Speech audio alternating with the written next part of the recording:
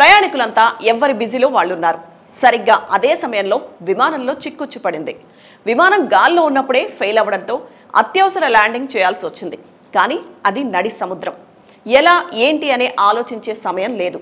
మరో దారి లేక పైలట్ దాన్ని ఆ సముద్రంపై ల్యాండ్ చేశాడు. హమ్మయ్య అని అనుకునే లోపే ఆ విమానం సముద్రంలో మునిగిపోవడం స్టార్ట్ అయింది. అప్పుడు పైలట్ సమయస్ఫూర్తిగా వ్యవహరించడంతో ప్రయాణికులు సురక్షితంగా బయటపడ్డారు. ఈ ఘటన దక్షిణ ఫ్రాన్స్లోని ఫ్రెజూస్ తీరంలో చోటు చేసుకుంది. టూరిస్టులతో నిండిన ఒక చిన్నపాటి ఏరోప్లేన్ సౌత్ ఫ్రాన్స్లో గాల్లో చక్కర్లు కొడుతుంది.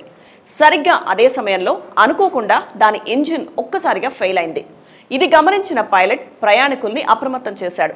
ఇక ఈ విషయం గురించి విన్నాక వాళ్ళు కూడా భయాందోళనకు గురయ్యారు. అప్పటికి ఎవరూ భయపడొద్దని ప్యాసింజర్లలో పైలట్ భరోసా కల్పిస్తూ విమానాన్ని బీచ్ వద్ద ల్యాండ్ చేయాలని అనుకున్నాడు. అయితే బీచ్ వద్ద ప్రయాణికులున్న విషయాన్ని గమనించి ఆ ప్రయత్నాన్ని విరమించుకున్నాడు. బీచ్కి కొంత దూరంలో సముద్రంలో ల్యాండ్ చేయడమే మంచిదని భావించాడు.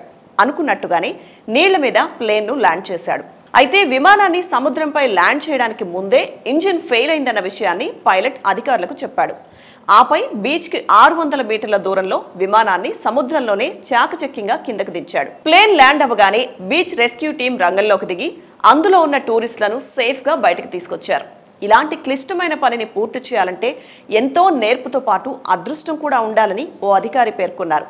మరోవైపు ఆ విమానం సముద్రంలో మునిగిపోయింది.